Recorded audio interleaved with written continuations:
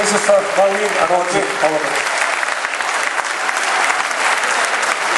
This about as folk as we get us is a folk festival. This is a, a song about the hope we have that one day Scotland will be a, an independent nation again. It's called Cap in Hand.